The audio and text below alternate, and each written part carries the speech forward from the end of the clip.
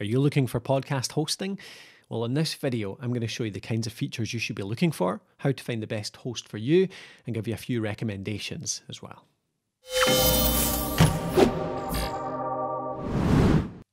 Okay, so podcast hosting is one of the first tools you need to get if you want to run a podcast. The podcast hosting is simply a place where you put your audio files on the web.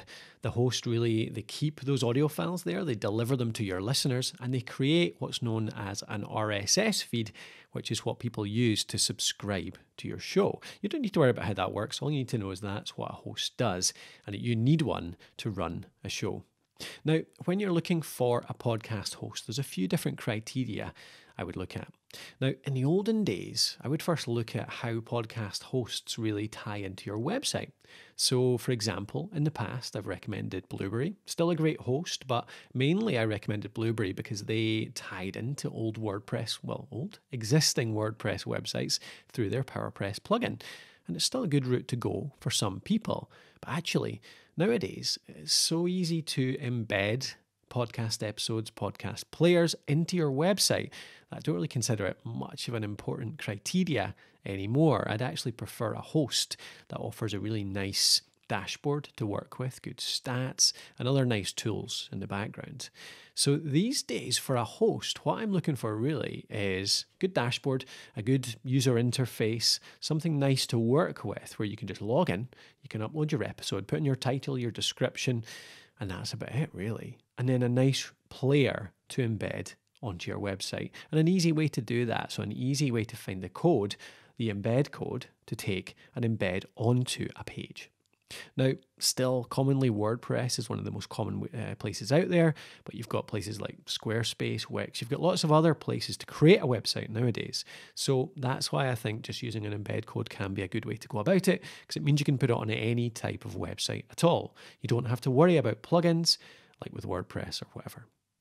So, in terms of recommendations, I think if you're starting out in podcasting, you want the easiest, simplest possible way to get into podcasting. For me, the best host right now is Buzzsprout, or one of the best, certainly, but it's the one that I've been using and really like as well. Buzzsprout's got a great user interface, great dashboard. It's got everything you need in there. Really easy way to just create new episodes. Just drag in the audio file, put in the data, and then post it, and that is it.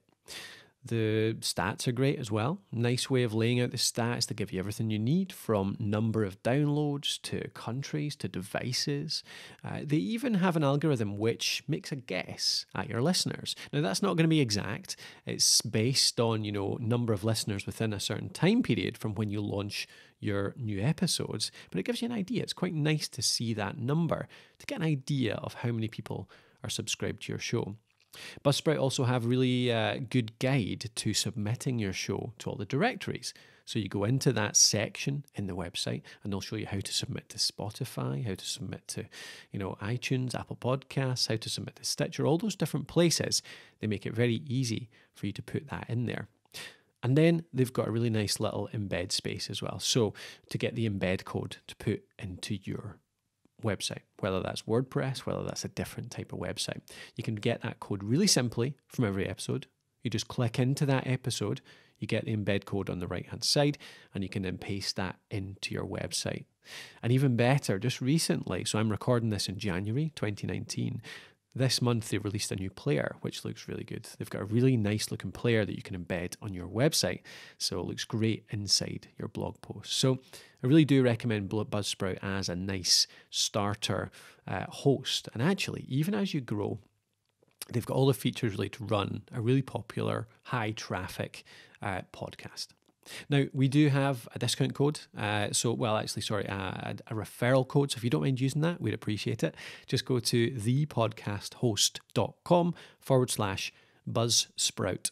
So, just their name, thepodcasthost.com forward slash buzzsprout. And if you use that link, then we get a little commission and it doesn't cost you any more, but you also get a $20 uh, Amazon gift card as well. So, you get a little bonus on that too if you use that. But we get pretty much get affiliate. to be honest, we get affiliate codes with every one of the hosts. They all do it, so it's not why we recommend them. We use Buzzsprout for Podcraft uh, and a few uh, of our other shows as well. Now, the other option for me is still Blubrry, actually. So I still use Blubrry for some of our shows. Now, Blubrry, I think, is still valuable for a few of its power features. So, if you want to run things like if you want to have more than one podcast on your website, Blubrry with the PowerPress plugin can be quite useful actually uh, putting it onto your WordPress site if you want to run more than one show.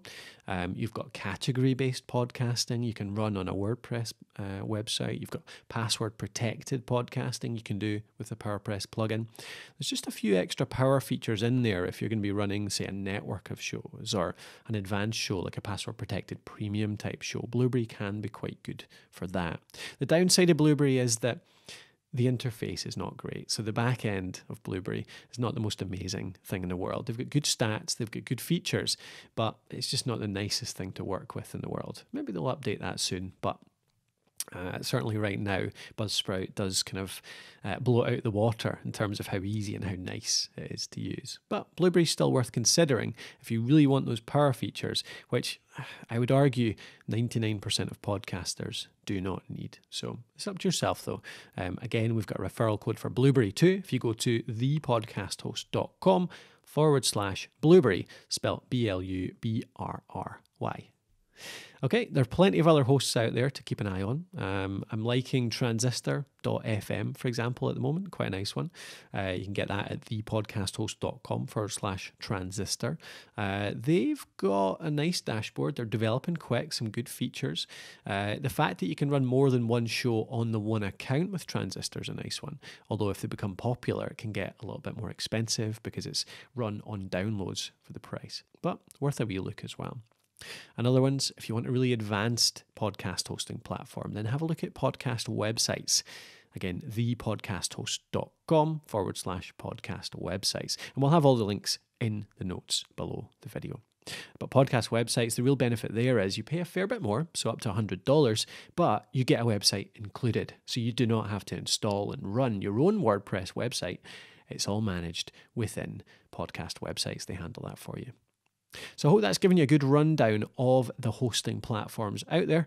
We do list a lot more of them on our best hosting platforms article, so you can check that out. Again, a link down below, or you'll find it over at thepodcasthost.com forward slash hosting, and you'll see all the rest of them. But again, you'll read in there that we do recommend Buzzsprout for the kind of quick and easy get in there, and for most podcasters anyway. Blubrry for the power features if you need them, uh, and then you can have a look through the others to see the detail. Okay, if you want any more details, if you want any more information, pop over to thepodcasthost.com. As always, we're posting blogs every single week, uh, loads of new resources. You've got Podcraft on there as well, our podcast. Uh, you can find everything you need to grow a successful podcast on there. So hopefully, see you there.